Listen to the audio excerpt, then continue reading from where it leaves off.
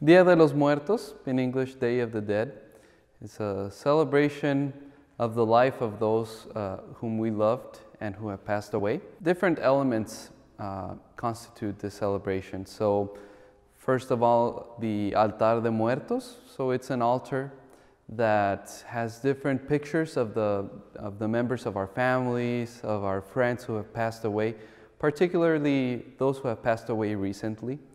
And it has food, it has um, particularly the food that that person enjoyed during his life.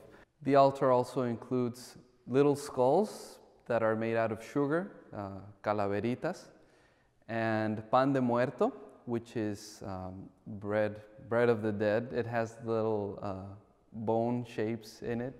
And, and this pan de muerto uh, represents the Eucharist, which is the food also for the journey, for, for the journey after death, especially.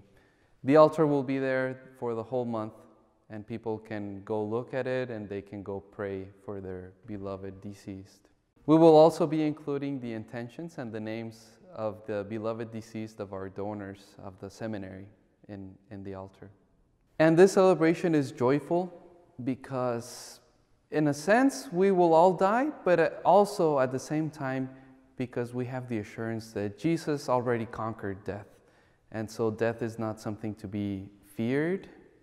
Rather, um, we laugh at the fact that death has not the final say on, in our lives that, that Jesus has already conquered it. For the Day of the Dead, which is November the 2nd, All Souls Day, we will have a Mass in the morning, and then in the afternoon, we will have a, a little liturgy, and then we have a procession toward the cemetery. And there at the cemetery, we will bless the, the tombs of those who are there, whose remains are there. And after that blessing, we will have a, a little gathering where we will share some of that pan de muerto that was uh, on the altar, and also hot chocolate, and yeah, keep uh, laughing at death because it has not, it doesn't have the final word